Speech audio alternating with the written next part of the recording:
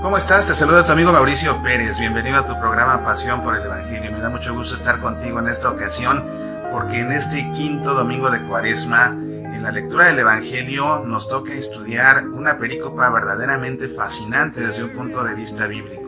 La resurrección de Lázaro. Yo me moría de ganas de que llegara el día de poder compartir contigo el análisis bíblico de este pasaje del Evangelio y por fin el día ha llegado. Ya con esto iniciamos la recta final en preparación a la Pascua ya este domingo es el que se considera el Domingo de la Pasión y con esto arrancan dos semanas que nos preparan ya de una manera definitiva y decisiva para celebrar el tríodo pascual en Semana Santa. De manera que vamos a hacer un análisis bíblico como siempre hacemos de la lectura del Evangelio, sacando al máximo vamos a hacer eh, un análisis en el que vamos a llegar como siempre a desmenuzar la pericopa versículo por versículo para extraer toda la información que podamos de esta manera comprender la teología, comprender el mensaje de este pasaje del Evangelio y así cuando vayas a la Santa Misa puedas tú sacar más provecho a la lectura del Evangelio.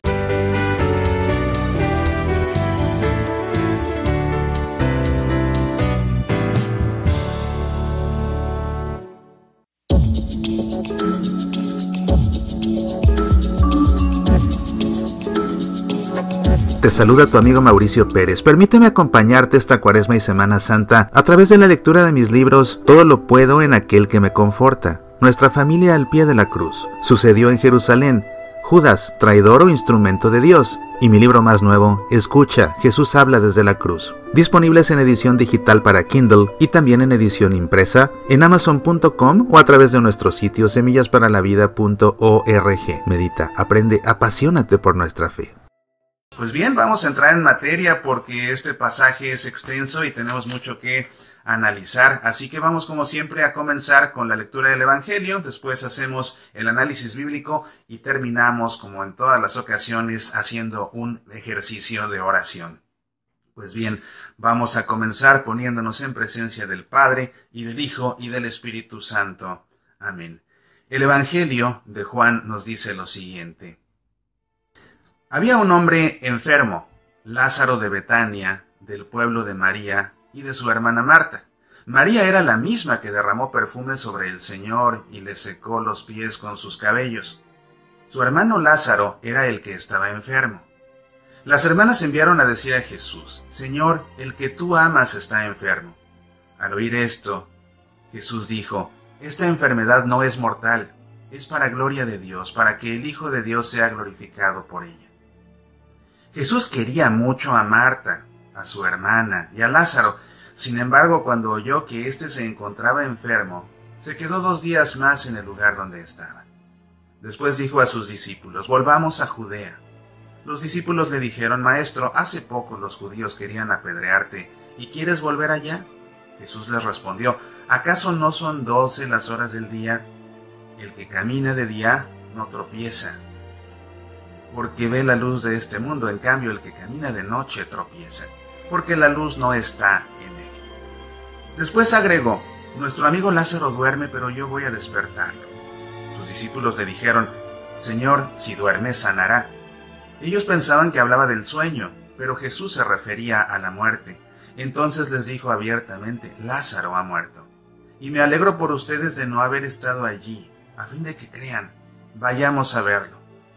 Tomás, llamado el mellizo, dijo a los otros discípulos, Vayamos también nosotros a morir con él. Cuando Jesús llegó se encontró con que Lázaro estaba sepultado desde hacía cuatro días. Betania distaba de Jerusalén solo unos tres kilómetros. Muchos judíos habían ido a consolar a Marta y a María por la muerte de su hermano. Al enterarse de que Jesús llegaba, Marta salió a su encuentro, mientras María permanecía en la casa.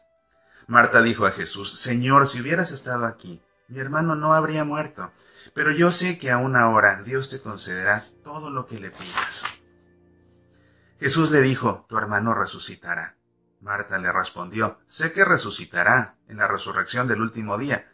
Jesús le dijo, yo soy la resurrección y la vida. El que cree en mí, aunque muera, vivirá. Y todo el que vive en mí y cree en mí, no morirá jamás. ¿Crees esto?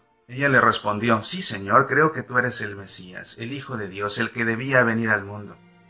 Después fue a llamar a su hermana María, y le dijo en voz baja, El maestro está aquí y te llama.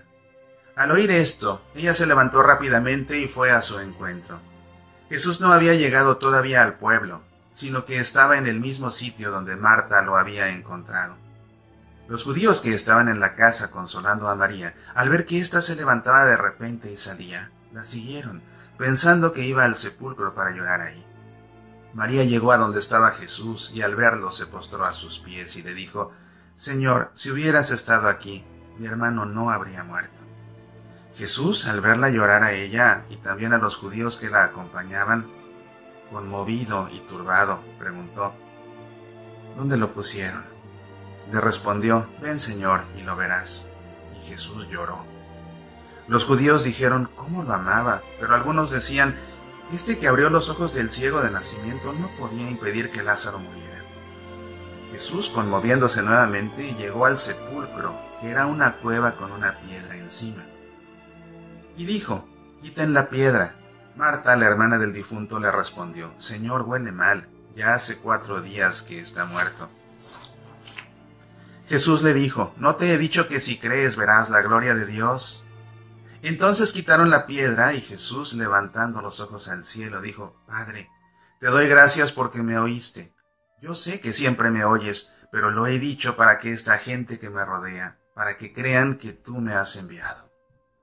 Después de decir esto, gritó con voz fuerte, Lázaro, ven afuera. El muerto salió con los pies y las manos atados con vendas y el rostro envuelto en un sudario. Jesús le dijo, desátenlo para que pueda caminar. Al ver lo que hizo Jesús, muchos de los judíos que habían ido a casa de María creyeron en él. Pues bien, esta es la perícopa del Evangelio que leemos en este quinto domingo de Cuaresma. Es un texto hermoso, es un texto apasionante. En la Santa Biblia hay siete episodios que tienen que ver con la vuelta a la vida de una persona, que no con la resurrección, y esto tiene que quedarnos claro.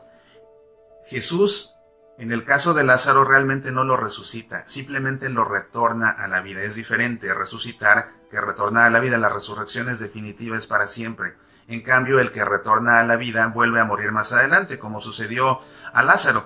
Y así, por ejemplo, ya desde el Antiguo Testamento vemos al profeta Elías, cómo él resucita o le, le, devuelve la vida, mejor dicho, al hijo de una viuda. Después el profeta Eliseo hará lo mismo con eh, el hijo de una tsunamita, Jesús por su parte, por supuesto, le devolverá la vida a la hija de Jairo, al hijo de la viuda de Naín, a Lázaro, por supuesto, y más adelante San Pedro también le va a devolver la vida a Tábita, San Pablo le va a devolver la vida a Eutico. Así que como ves hay diferentes episodios en la Santa Biblia en las que los hombres de Dios o Jesús mismo le devuelven la vida a una persona que había muerto. Pero sin lugar a dudas que de todas la más impresionante es la de Lázaro y también el texto más desarrollado al respecto es este de Lázaro. Y llama la atención, Juan es el único que refiere el episodio de Lázaro. Juan es el único evangelio en el que encuentras este episodio de la resurrección de Lázaro. Así que vamos a proceder a hacer el análisis bíblico. Se va a poner muy interesante. Por favor, sintoniza este programa hasta el final porque realmente te prometo que vas a aprender mucho, mucho acerca de este episodio. Vamos a ver. Eh, comienza la pericopa diciendo, había un hombre enfermo, Lázaro de Betania, del pueblo de María y de su hermana Marta. Fíjate lo que dice aquí, María era la misma que derramó perfume sobre el Señor y le secó los pies con su cabello, con sus cabellos. Fíjate que estos eran amigos muy íntimos de Jesús. Jesús los amaba, los amaba con todo su corazón, a María, Marta y a su hermano Lázaro. Y María y, Marta fueron presentadas por el Evangelio según San Lucas. Acuérdate que Jesús va a su casa, y Marta se afana por limpiar la casa, por preparar todo para su huésped, en tanto que María se queda pacífica a su lado. Ella prefiere estar con él, ¿te acuerdas? Y que Marta la regaña, María, ayúdame. Y, Jesús le la reconviene a ella, Marta, Marta, te afanas demasiado. Tu hermana María ha escogido la mejor parte, que es quedarse quieta aquí conmigo. Esto nos llama la atención porque fíjate que esa María, que fue la que se quedó quieta con Jesús, es la misma María que, como dice el Evangelio de Juan, en aquel eh, dramático episodio, le unge los pies con aceite, los lava con sus lágrimas y los seca con sus cabellos. ¿Te acuerdas? Bueno, pues esa, esa que amaba tanto a Jesús, que era de sus amigos más íntimos, es la que tuvo ese gesto. Esa María no es María Magdalena. No es María Magdalena, esto nos tiene que quedar claro. Muchos cometen el error de confundir a María Magdalena con esa mujer que le lavó los pies a Jesús con aceite, con perfume y que le secó los pies con su cabello. Ella no es.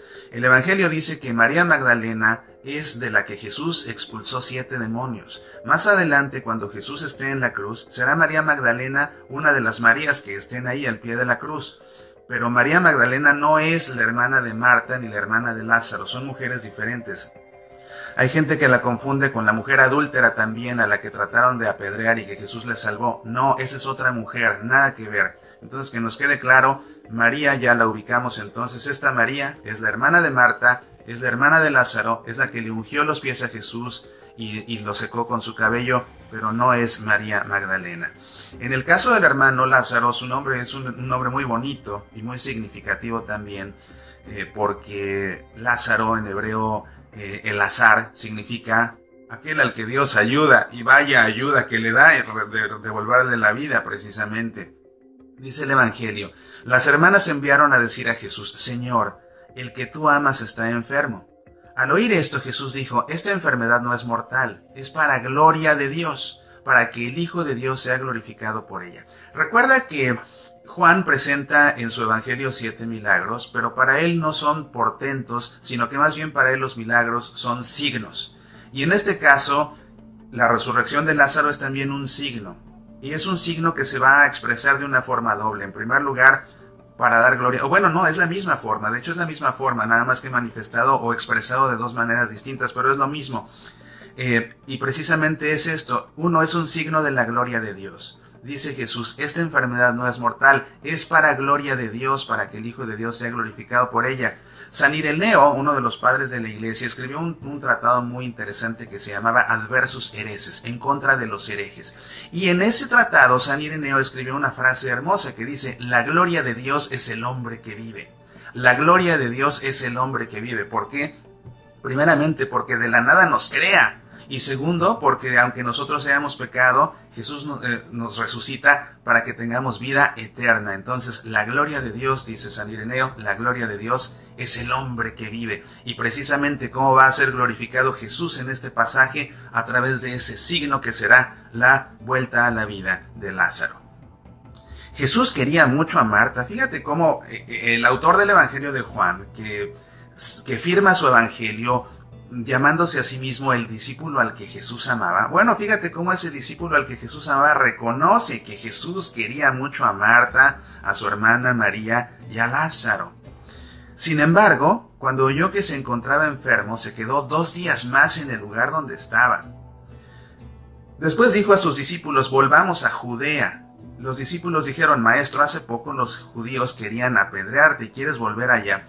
Sabes que en, el, en el, eh, la pericopa anterior, en el contexto inmediato, que es la pericopa anterior a esta que encontramos en el Evangelio de Juan, Jesús se encuentra en Jerusalén y los judíos le preguntan si él es el Hijo de Dios. Y Jesús dice, sí, el Padre y yo, el que me envía y yo, somos lo mismo, somos una sola cosa.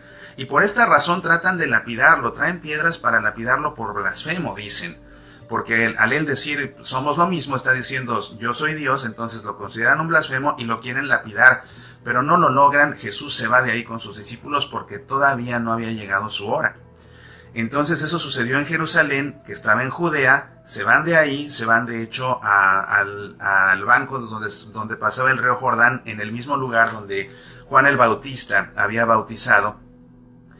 Y el caso es que ahora se encuentran por acá, eh, cerca de Betania, y cuando se enteran que tienen que volver a Betania, que está en Judea, pues a los apóstoles eso les da miedo, les preocupa, porque dicen, ves que hace poco querían, eh, querían apedrarte, y habían pasado yo creo que unos tres meses, porque ese episodio fue en invierno y aquí ya estamos en los albores de la primavera porque esto ya nos está aproximando precisamente a esa tercera Pascua que Jesús va a celebrar en Jerusalén según refiere el Evangelio de, Juan en su vida adulta, en su vida, no en su vida adulta, sino en su vida pública. Y es cuando Jesús va a morir. Entonces, sucedió en invierno el episodio anterior, ahora ya nos encontramos unos tres meses después en primavera, pero los apóstoles, por supuesto, no quieren volver a donde por poco los matan a pedradas. Y, Jesús les responde, ¿acaso no son doce las horas del día? El que camina de día no tropieza, porque ve la luz de este mundo. En cambio, el que camina de noche tropieza, porque la luz no está en él. En la semana pasada yo te contaba cómo a Juan en su evangelio le encanta manejar los opuestos. Y el día y la noche son de sus opuestos favoritos. La luz y la oscuridad, el día y la noche, la vida y la muerte. Bueno, aquí el día y la noche. Y, y vemos este opuesto muy del estilo del evangelio según San Juan. El que camina de día no tropieza, el que camina de noche tropieza. Y esos paralelismos antitéticos, dos textos paralelos pero opuestos diametralmente. El que camina, el que camina, el que camina de día, el que camina de noche, el que camina de día no tropieza, el que camina de noche tropieza. ¿Ves? Típico estilo juanino aquí el que, el que vemos en esta, en esta expresión. Y bueno, que va también acompañado de la teología que Jesús había desarrollado en la pericopa que leímos en la misa el domingo anterior en la curación del ciego de nacimiento, donde Jesús hablaba precisamente de la luz y Jesús hablaba también de esto, ¿verdad? De cómo, de cómo eh, el que es iluminado por la luz, o más bien de cómo el día es el tiempo propicio para realizar las obras, refiriéndose a las obras de Dios. Entonces Jesús dice, dice, ¿acaso no son doce horas las del día? El que camina de día no tropieza. O sea, vamos, es de día, vamos, y no vamos a tropezar. Este tropiezo se refiere simbólicamente a caer en el pecado. En, el Antiguo Testamento, y los, los, apóstoles por supuesto vienen con, esta, eh, con este bagaje cultural, con esta ideología, eh, caer en el pecado eh, muchas veces era referido como tropezar. Entonces es lo que dice Jesús, el que camina de día no tropieza, no cae en el pecado. El que va de noche, ese es el que tropieza, porque no tiene luz para ver, va además caminando en las tinieblas, que son un símbolo del mal, entonces va a caer en las tinieblas, va, a caminar en las tinieblas, va a tropezar, va a caer en el pecado. Es de día, vamos, tenemos que cumplir la obra del Padre, que precisamente se cumple cuando es de día. Después agregó, nuestro amigo Lázaro duerme, pero yo voy a despertarlo. Sus discípulos le dijeron, Señor, si duerme, se sanará. En el Nuevo Testamento se suele referir a la muerte como un sueño, solamente como un sueño. ¿Y por qué? Precisamente para dejar claro que la muerte no es eterna, porque vamos a despertar en la resurrección a la vida eterna. E, e, es a lo que se refiere Jesús, a la muerte, ¿verdad? Hablando de ella como un sueño, pero en esta ocasión los apóstoles lo entienden como algo literal y por eso le contestan a Jesús, si duerme, sanará. Pero Jesús entonces se los deja bien claro. Entonces les dijo abiertamente, dice el Evangelio, Lázaro ha muerto, y me alegro por ustedes de no haber estado allí, a fin de que crean. Vayamos a verlo.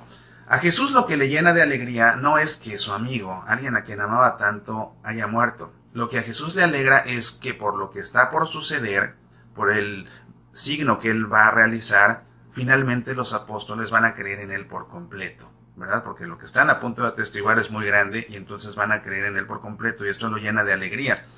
Sin embargo, es un, es, un tanto cuanto irónico porque Jesús siente esta alegría en medio de una profunda tristeza que lo embarga por la muerte de su amigo, ¿verdad? Y algo que, que nos llama la atención es por qué Jesús, fíjate, eh, bueno, no me adelanto, no me adelanto, mejor vamos, esto te lo explico en un momento saluda Mauricio Pérez. Dicen los evangelios que Judas era amigo de Jesús, lo traicionó y se quitó la vida ahorcándose. En el Antiguo Testamento encontramos otro personaje que también era amigo íntimo de un rey, también lo traicionó y también se quitó la vida ahorcándose. ¿Quién es este otro personaje tan similar a Judas? ¿A qué se debe esta similitud tan precisa entre los dos? ¿Qué importancia tiene esto para comprender el Evangelio? Descúbrelo en mi nuevo libro Judas, traidor o instrumento de Dios. Disponible en Kindle y edición impresa. Judas, traidor o instrumento de Dios. Pídelo también a través de semillasparalavida.org. Medita, aprende, apasionate por nuestra fe. Tomás, llamado el mellizo, o el dídimo, era, era, era eh, el mellizo, el dídimo, el gemelo, dijo a los otros discípulos, vayamos también nosotros a morir con él. Cuando Jesús llegó se encontró con que Lázaro estaba sepultado desde hacía cuatro días. Betania distaba de Jerusalén solo unos 3 kilómetros. El Evangelio original habla de 15 estadios, 15 estadios son 3 kilómetros, es decir, estaba muy cerca donde se encontraba Jesús de Betania, donde vivían Marta, María y su hermano Lázaro, muy cerca.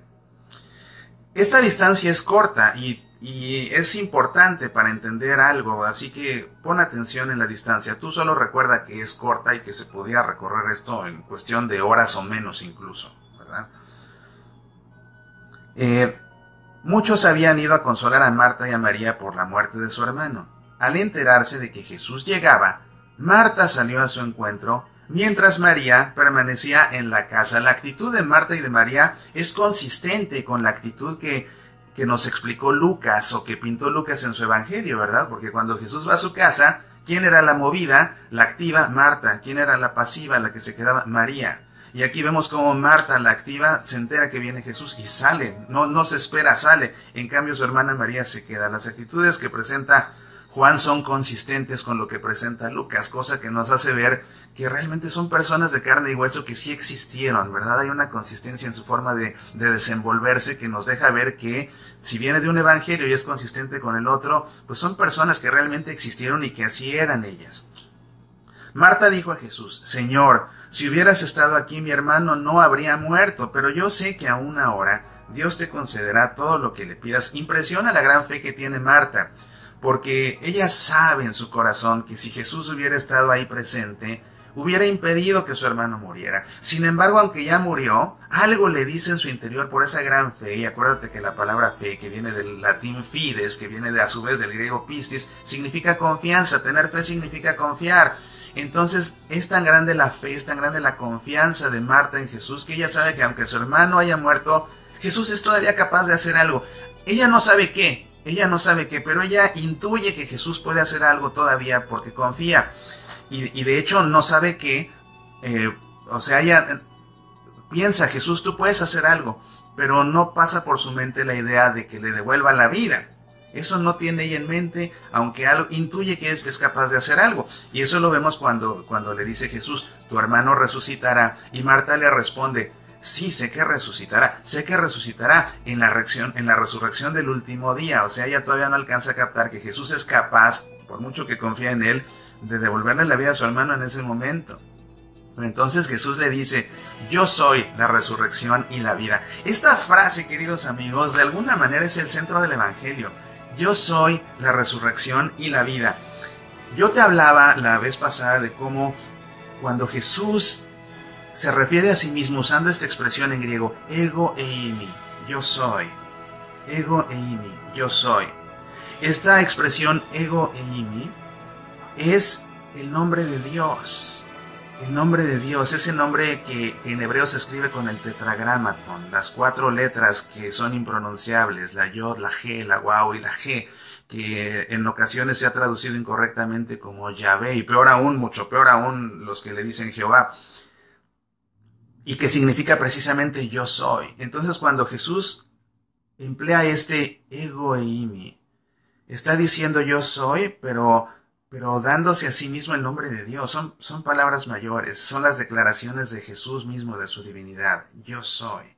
Y esta expresión, como te digo, es, resume el evangelio, es la esencia del evangelio, porque la expresión, la expresión en griego, eh, ego eimi, e anastasi, que soy, e que soy, ego eimi e anastasi, e anastasi, ego eimi e anastasi, que soy significa yo soy la resurrección y la vida. Ego eimi, yo soy, e la resurrección, que y soy la vida. Yo soy la resurrección y la vida. Esa declaración que hace Jesús de yo soy, yo soy Dios yo soy la resurrección, yo soy la vida. Impresionante, esto es el Evangelio, ese es Jesús. De todos los ego e que vemos en el Evangelio, este es el central, el más importante de todos, porque lo que es Dios es precisamente eso, la resurrección y la vida. Y esto nuevamente nos hace pensar en esa frase tan hermosa de San Ireneo, la gloria de Dios, es la vida del hombre, fascinante. A mí no sé si alcanzas a ver, se me está enchinando la piel, pero es que esta declaración que hace Jesús, ese es el Dios en el que creemos. Ese es el Dios en el que creemos, en el Dios que es la resurrección y la vida.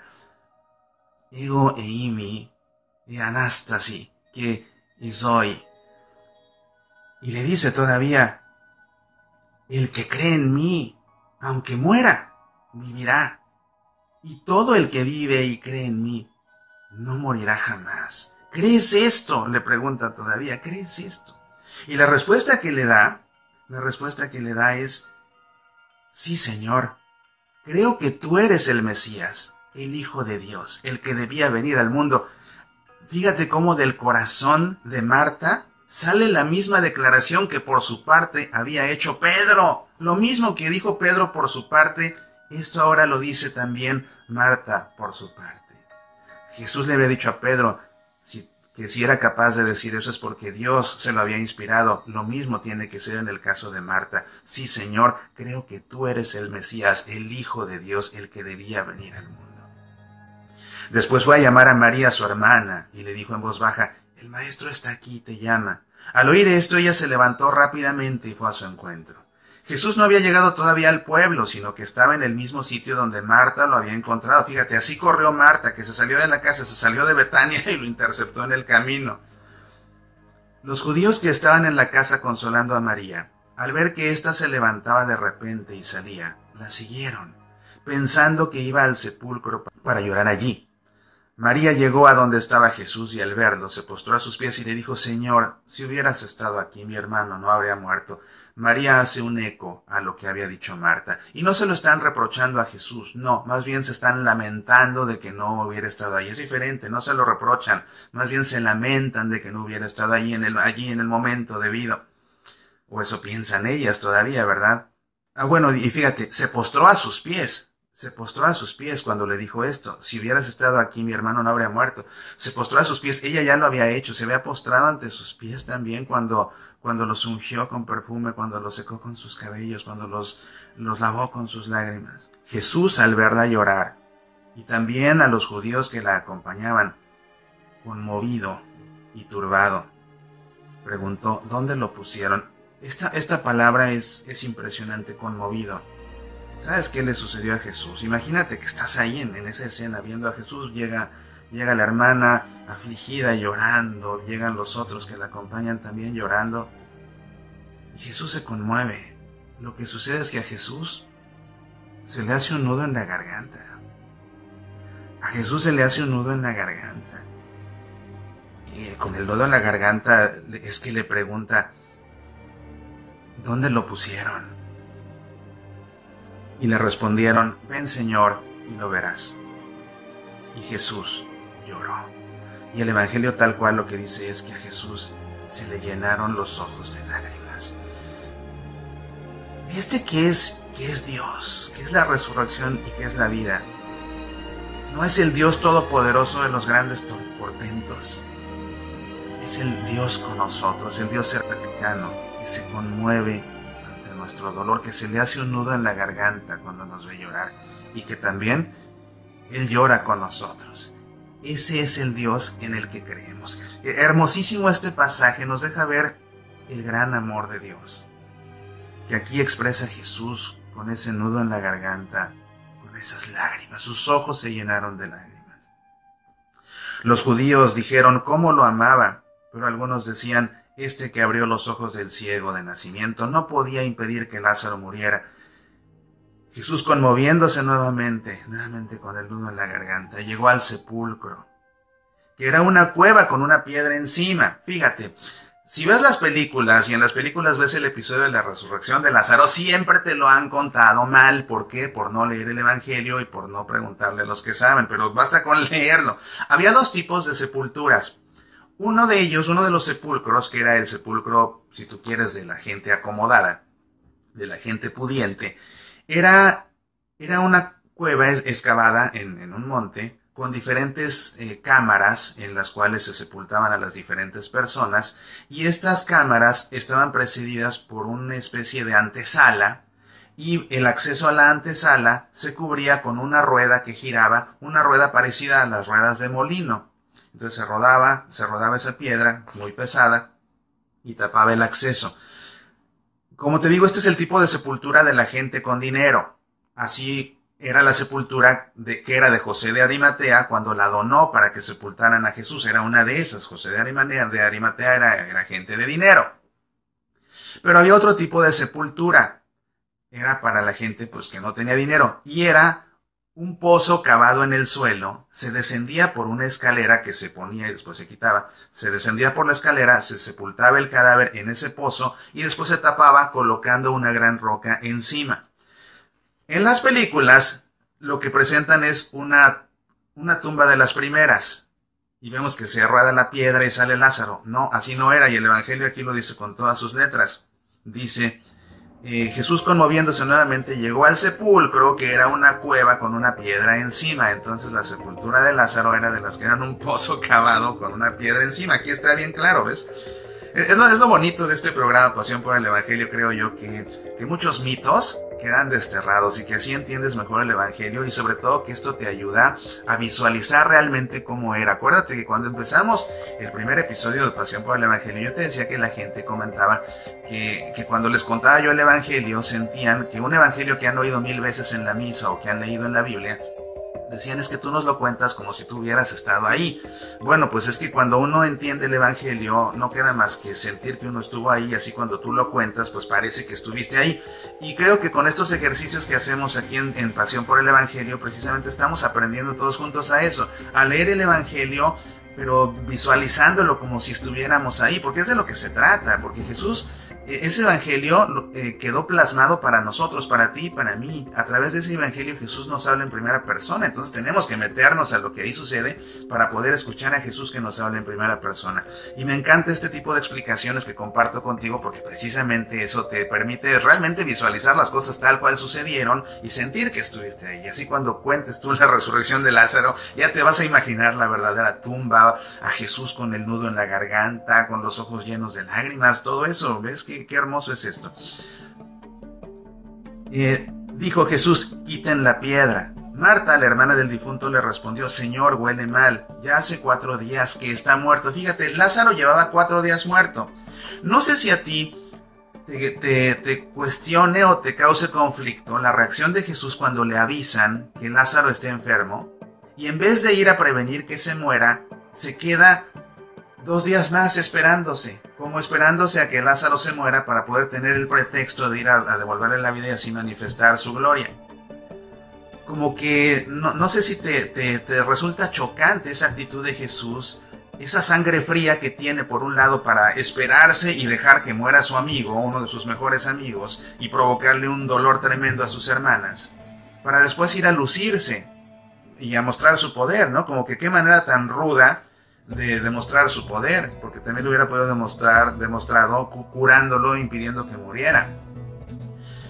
Y después llama la atención que ese Jesús de sangre tan fría, que se espera dos días esperando, dejando que se muera su amigo para después ir, después se aflija y llore y, se le haga un nudo en la garganta, como que no checa. Bueno, es que no checa porque no sucedió así. La razón por la que Jesús se esperó no fue para esperar a que se muriera su amigo, no fue para dejarlo morir, no. Date cuenta cómo Lázaro llevaba cuatro días sepultado. Y a Jesús, Jesús se esperó dos días, en, eh, dos días antes de ir a Betania, y Betania se encontraba a 15 estadios, a 3 kilómetros, o sea, podía llegar Jesús en un par de horas. De manera que si Jesús se esperó dos días en donde estaba antes de recorrer los 3 kilómetros a Betania, y cuando llega a Betania ya Lázaro llevaba cuatro días sepultado. Eso significa que cuando llegan con Jesús a darle el mensaje, Lázaro ya estaba muerto y Jesús lo sabía. Lázaro ya estaba muerto y Jesús lo sabía. Entonces no se esperó deliberadamente para que Lázaro muriera y tener un pretexto para después hacer este, este, este, este, este milagro, este signo. No. Ya se encontraba Lázaro muerto. Entonces espero que eso te quite cualquier conflicto con la actitud de Jesús no, es que ya estaba muerto, por eso no fue. Ahora se espera para que pase más día, más días, para que quedes bien claro, súper claro, que sí estaba muerto, más que muerto, y después de cuatro días, por eso dice aquí es que ya huele mal, o sea, está bien muerto. Para que no haya duda que lo que va a hacer es realmente un super milagro, devolverle la vida a un difunto. Es un super milagro, entonces para eso sí se espera, pero no se espera para que se muera. ¿Queda claro? Bueno, vamos a seguir adelante.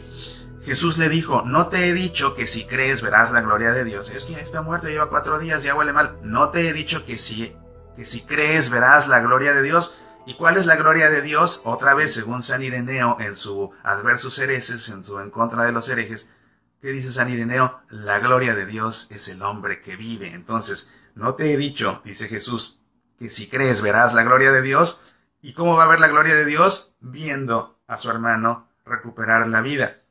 Entonces quitaron la piedra y Jesús, levantando los ojos al cielo,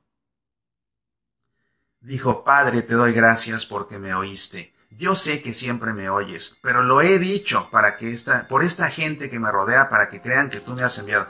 Fíjate, pon atención a esto y pon atención en la Santa Misa. En el momento de la consagración, el sacerdote sube los ojos al cielo. Y precisamente por qué? Porque se dirige al Padre. Y es lo que hace aquí Jesús. Para dirigirse al Padre, el Padre está en los cielos. Entonces Jesús sube los ojos al cielo. Y ese gesto de que el sacerdote, y en el misal lo dicen las rúbricas, que sube los ojos al cielo, viene de esta, de esta forma de orar de Jesús que para orar a su Padre subía los ojos al cielo. Pero le dice, eh, te doy gracias porque me oíste. Yo sé que siempre me oyes, pero lo he dicho por esta gente que me rodea para que crean que tú me has enviado. Jesús oraba en lo secreto y él nos enseñó que teníamos que orar en lo secreto. Y él lo hacía, por eso se iba al desierto, se iba lejos para orar en lo secreto. En esta ocasión, él sabe que aunque orando en lo secreto su padre lo escucha, él lo hace público, hace pública la oración. ¿Para qué? Para que todos vean, para que todos vean que esto que está por suceder viene de Dios. Si va a recuperar la vida Lázaro, es porque esto viene de Dios. Después de decir esto, gritó con voz fuerte, Lázaro, ven afuera. A veces no alcanzamos a, medir la, dimensión de esta frase. Es, un mandato. Y fíjate, como que esto se, ¿Te acuerdas en el Génesis? Se me acaba de ocurrir en este momento. En el Génesis, cuando Dios crea al hombre de la nada, ¿verdad? Lo crea, es, hágase, o sea, lo crea. Y de la misma manera aquí, con esa autoridad, con ese poder del Todopoderoso, le ordena, vuelve a la vida, ¿te das cuenta? Primero alguna vez le ordenó, vive, alguna vez le ordenó, vive, que fue cuando lo creó, y ahora le ordena, vuelve a la vida. Oye, ¿y, ¿y qué tal que a lo mejor así es, verdad? Que cuando nosotros muramos, ese Dios que nos dijo de la nada vive para, que, para crearnos, cuando muramos nos va a dar esa orden, va a estar ahí presente y nos va a decir, vuelve a la vida y vamos a resucitar. Estas palabras son realmente profundísimas, profundísimas. Gritó con voz fuerte, o sea, con autoridad, con autoridad, Lázaro, ven afuera, no se lo pidió, no, no, se lo ordenó con esa autoridad de Dios con voz fuerte, gritó con voz fuerte, Lázaro, ven fuera. El muerto salió con los pies y las manos atados con vendas y el rostro envuelto en un sudario. De este versículo tanto que decir. Pon atención porque, si te das cuenta, esto es otra especie de milagro que vemos aquí. Recuerda que Lázaro estaba dentro de un pozo que era su tumba y sale solo pero no sale por la escalerilla, no, sale atado. Aquí dice con todas sus letras, salió con los pies y las manos atados con vendas. Estaba totalmente su cuerpo, después de que, de que murió, pues lo ungieron, como ellos acostumbraban, lo ungieron y le pusieron algunas especias, y, cuestiones aromáticas, y lo envuelven todo, todo. Entonces queda por completo atado de pies y manos. Y dice aquí, y con su rostro envuelto en un sudario. Fíjate cómo muchas veces la gente hablando de la sábana santa, le dice el sudario o el santo sudario. Están equivocados. Una cosa es la sábana santa y otra cosa es el santo sudario. El sudario era un trapo con el que se cubría el rostro de un difunto. La sábana santa es con lo que se envolvió todo el cuerpo de alguien que, según lo que todo indica, es Jesús. No tenemos la certeza plena, pero según todas las evidencias debió ser Jesús. Y el santo sudario que es ese trapo que cubría el rostro del difunto, es más bien el que se encuentra en España, en Sevilla, si, si no me equivoco, si no me corrigen ustedes. Pero es diferente, entonces una cosa es la sábana santa, otra cosa es el santo sudario, el sudario es para el rostro. Aquí en el caso de Lázaro, pues también su rostro estaba con un sudario, entonces no podía ni ver, no podía ni ver porque tenía el sudario en, en, el rostro, entonces ¿cómo veía? No podía caminar, no podía sacar las manos para cogerse de la escalerilla y sale del sepulcro, o sea, sale, pum, y se para. Entonces, como ves aquí es otra especie de milagro que, vemos aquí. Pero algo muy importante, muy importante, es uno de los detalles sutiles pero más importantes de este pasaje, es que Jesús les dijo, dice el Evangelio, desátenlo para que pueda caminar. Lo, lo, importante de esto es que Jesús, en primer lugar, ordena que lo desaten, es decir, que le quiten las vendas. Y también es importante que Jesús ordena que lo hagan, no lo hace él. Jesús está acostumbrado a servir, él no tiene temor en ir, tocar al enfermo, aunque sea sábado, ya sabes cómo al ciego lo curó haciendo lodo con, su saliva, escupiéndole a la tierra. Jesús no, no tiene reparo para ir y él con sus manos hacer algo, pero en esta ocasión no es Jesús el que lo desata, más bien ordena que los demás lo desaten. ¿Por qué es esto importante? Desde un punto de vista teológico es importantísimo. Porque estas ataduras con las que está envuelto un difunto, Juan volverá a hablar de ellas en el momento de la resurrección de Jesús. Pero cuando Jesús resucite, dice el Evangelio de Juan, Juan, Jesús mismo es el que se quita las ataduras. Jesús mismo se quita las ataduras.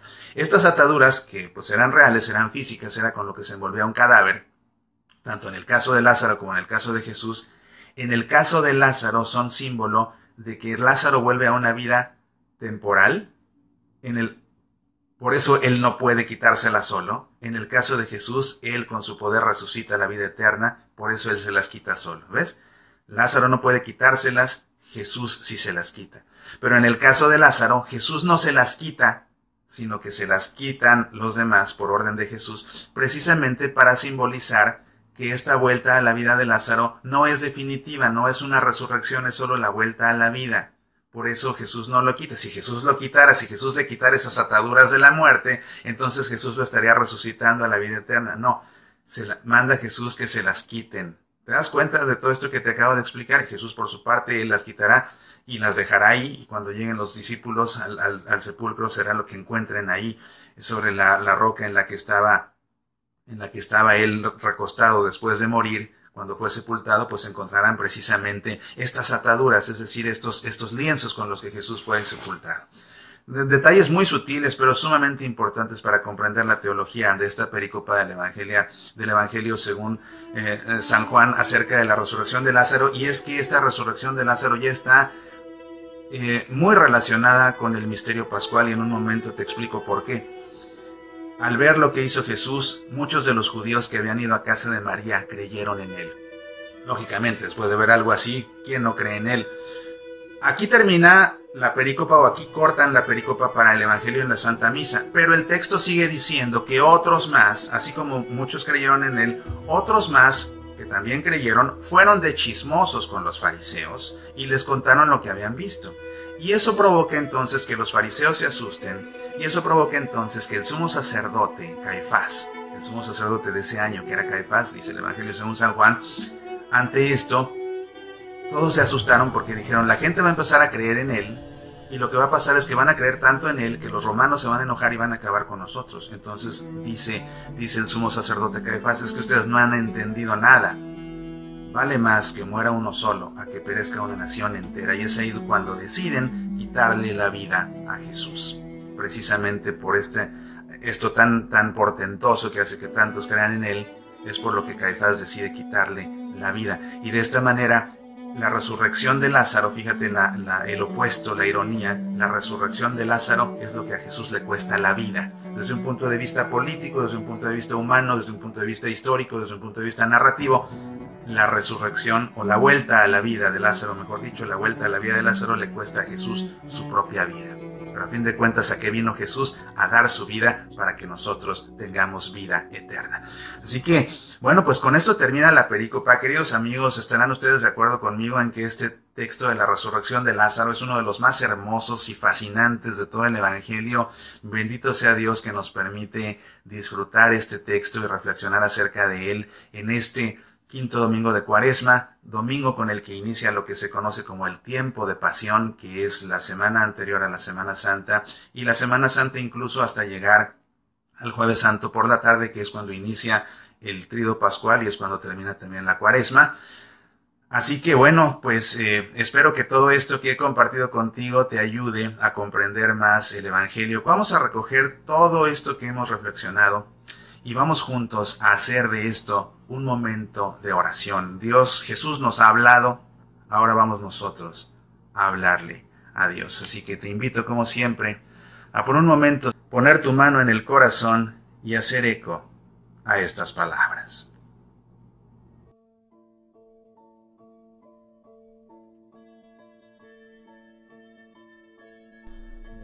Tú eres la vida eterna, Señor Vivimos en este mundo, pero un día nos iremos y marcharemos del mundo como vinimos a él. Tú eres la vida eterna, Señor. Hablamos en este mundo, pero un día callaremos y escucharemos el silencio de tu presencia. Tú eres la vida eterna, Señor. Trabajamos en esta tierra, pero un día descansaremos y veremos el fruto de lo que hicimos. Tú eres la vida eterna, Señor. Creemos mientras vivimos, pero un día no hará falta, porque contemplaremos cara a cara tu rostro. Tú eres la vida eterna, Señor. Esperamos y caminamos, pero un día nos detendremos porque tú al final nos esperas vivo. Tú eres la vida eterna, Señor. Amén. En el nombre del Padre, y del Hijo, y del Espíritu Santo. Amén. Nuevamente, infinitas gracias por tu compañía. Te deseo que tengas una semana llena de bendiciones. Por favor, a todas las personas que se crucen en tu camino este día, ofréceles una sonrisa para que a través de tu sonrisa perciban la presencia de ese Dios que a través del bautismo te ha hecho hijo suyo. Recuerda que tenemos una cita el próximo fin de semana para seguir profundizando en el Evangelio. Aquí te espero. Apasionate por nuestra fe.